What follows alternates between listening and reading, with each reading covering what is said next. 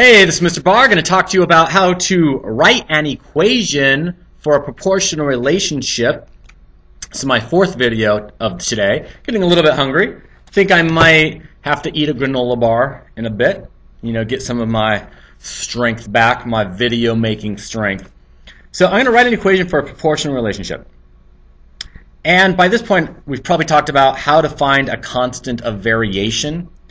Constant of variation is I take a y value and I'm dividing it by the x value. And that constant of variation is represented by the letter k. Here we go. So I'm going to be looking for this k value. Once I have that k value, I take it and I put it right here into this little teeny tiny equation.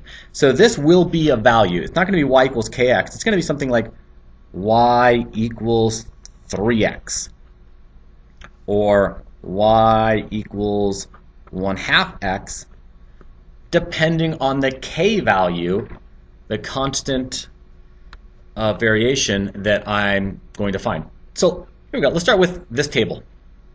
I'm going to start by finding k. So let's put that. Find k and put it into the equation. Find k, put it into the equation. The equation. I'm running out of space right there. The equation. All right, here we go.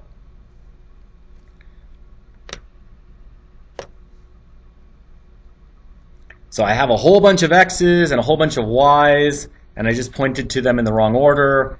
So let's pick a y. It doesn't matter. Pick one. Just don't do 0, 0 because you can't divide 0 by 0. But let's just, I don't know, mm, this one right there. 18 divided by 2 is 9.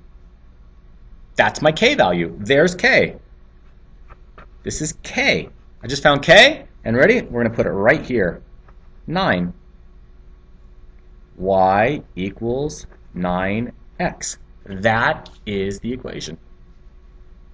Let's try another one. All right.